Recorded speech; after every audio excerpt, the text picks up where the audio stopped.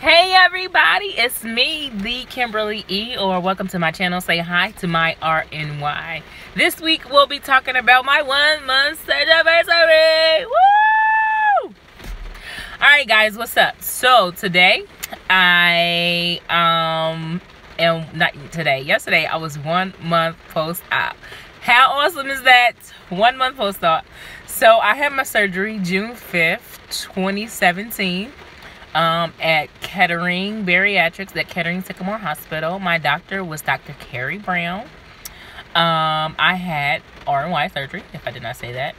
Um, so my highest weight was 340. My current weight is 306, baby. Ah, 306 point something. I seen it, but I didn't see it. So I just had my one month checkup with my dietitian, psychiatrist, and um, athletics person, whatever their name is. So that is my one month checkup with them. So in all in total, I have lost 34 pounds. So I'm actually above. They expect you to lose between 15 to 20 pounds for somebody my size. So that's awesome. So I'm above goal. So what we just talked about today was my goals my goals of where I want to go. Excuse me, y'all. All my stuff is getting too big. And I'm not buying no more clothes until I'm leasing the size 20, okay? I'm in like a 24, 22 now. And my clothes is loose. But um, I ain't buying no more until I get some more clothes. I mean, get a little, a little smaller.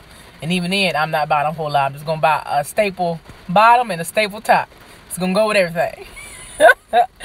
Anyways, so today we talked about my goals. And that's one thing I have in mind my I want my goal weight loss or I want my goal weight to be 175 and I want my ultimate non scale goal is to be to run is to be able to run. So nutritionist said um, I need to make sure I switch out like start switching out the protein shakes for meals, which is something that's really hard for me because I I'm telling y'all it's hard for me to eat. Not say it's hard for me to eat, but shakes is just so easy. You can just grab them and go. So I'm just going to have to work on that and have a plan because I'll go back to work on Monday and I really want to be successful. So that's what I anticipated doing today is using today as a day of planning. So going to my refrigerator, see what I got, make it all line up, because I'm like, she gave me this thing with all this food and stuff, and like all these, you know, options. And I'm like, okay, thank you, Jesus, because I didn't know what I was gonna do when I got to work. I knew I was gonna do the protein shakes. I knew that I was gonna do like some tuna packs and stuff. But I was like, I need some more food, Jesus, because I don't know how to do this. And so it's okay to say you don't know, because I told her I went in there. I said, I don't know what I'm gonna do on Monday. I'm planning, but I don't know how to plan. oh God, it was so hilarious. And so we just started laughing. I was just like, I really want to be successful. I said, but I'm scared. I said, cause I was like, I, you really, when you really can't eat a lot of food, mm, excuse me, y'all. I'm still, I'm four weeks out. So when you still can't eat a lot of food, it's just like I don't want to waste my money because I did that this weekend when I was, I mean, last weekend when I was in Atlanta, I had to buy bigger portions, but I had to give the food away. I don't mind giving food away, but come on now, like that's a waste of money. Like I could have saved that money. So even with me planning with my my shakes, it still it still wasn't enough. So um, that's what my nutritionist said. Psychiatrist said I'm doing good. Just make sure you know if I have any problems, reach out to him. I really don't have any problem in that front because I did already. I sought help before I went to surgery because I wanted to make sure that I was good. You know, mentally, physically, and spiritually. I just feel like you should do that, period. So if you're thinking about getting surgery, if you're thinking about doing anything you know what I'm saying, it's gonna be life changing. Make sure you reach out because you might have some issues you ain't know you was dealing with. But I did say I never knew how much I depended on food until I couldn't depend on food no more. Because my grocery bill, not my grocery bill, just eating out. I spent three to four to five hundred dollars. Like, oh my God, do you know where I could have been putting that money?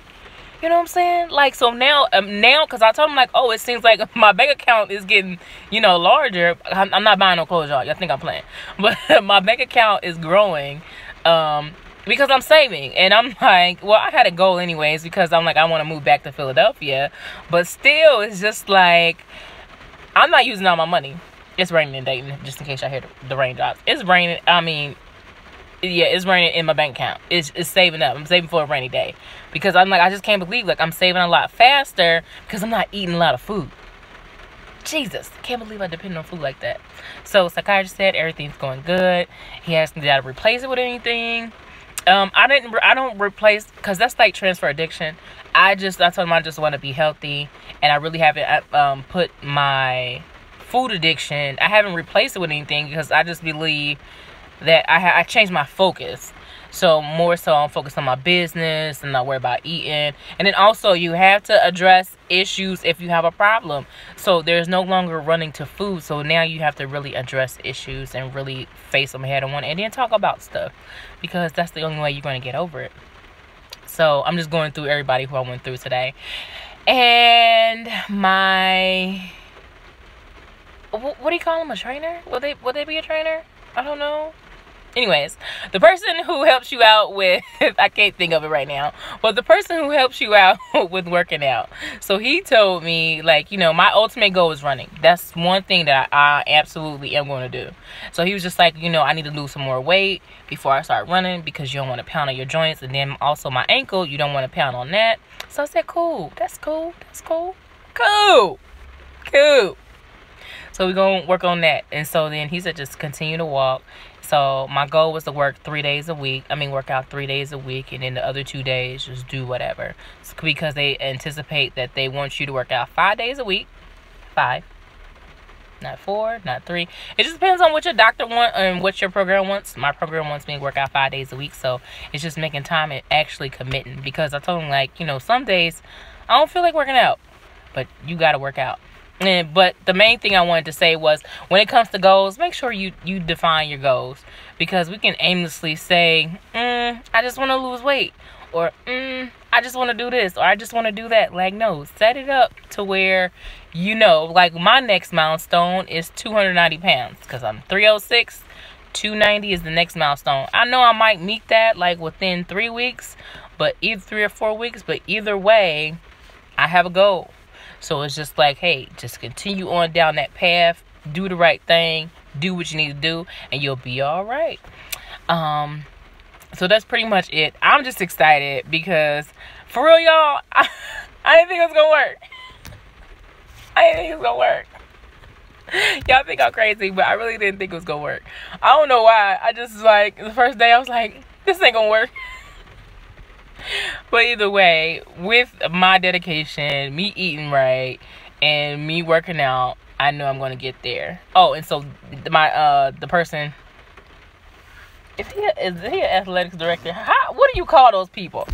Anyway, so, so uh, what was I say? I'm looking for his name. I don't see his name. I, am not gonna trip about it because it's gonna irritate my life. But uh, I was I about to say. Um, so he was telling me to do strength training uh for you know now that I can work out because I was just cleared yesterday. So and then I got my workout clothes on. It's my kick ass shirt. I got that from Torrid, the big girl store. I ain't gonna be shopping there soon. I love y'all Torrid, but I ain't gonna be shopping there soon. So the cardiovascular exercise, he was just saying keep it moderate and um, do strength training so that way it says do for cardiovascular. It says little as one or two days a week can be beneficial. It said moderate intensity, um, burn calories, lose weight, improve muscle mass, resistance training. That's for strength training. That's what I'm gonna do mostly because I mean I, I lift weights anyways.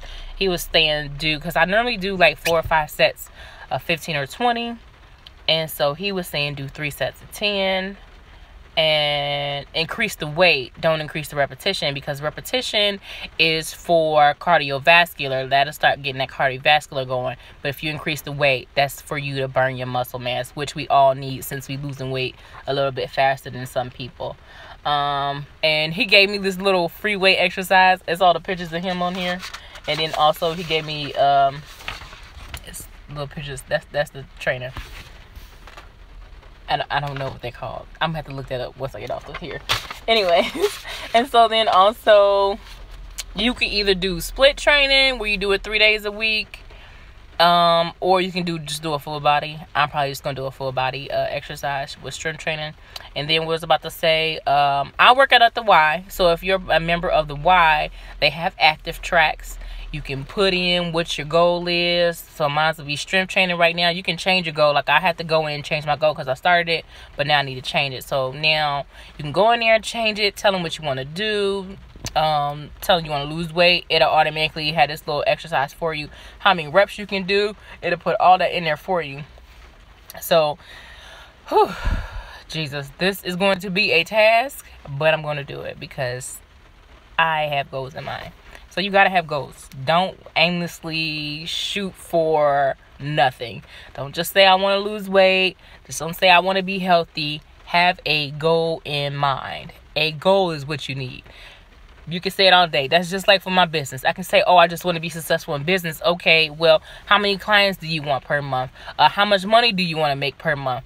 All that plays a part in me growing my business. So me saying I just want to be successful in my business is not helping me reach towards a goal. You understand what I'm saying? Like it's like you just ain't willing. Uh, excuse me. You're darting or targeting aimless, aimlessly for no reason. So it's just like you may not reach that goal. What success look like? Um, is that one client? Uh, clearly not. Anyways, so guys, I'm just excited. So one month surgery anniversary. Whoop whoop. That was yesterday, and I'm recording today. So don't judge my life. I like to record from my car because it's easy. Um, so I will holler at you guys later. So I'll probably edit this video. Probably not. Just depends on how I'm feeling. Um, so that's it. I will probably y'all probably see me. I'm probably going to Walmart and get some stuff. So and also I'll probably show y'all a little bit of my meal prep and what I'm gonna do. Alright, talk to y'all later. Pieces.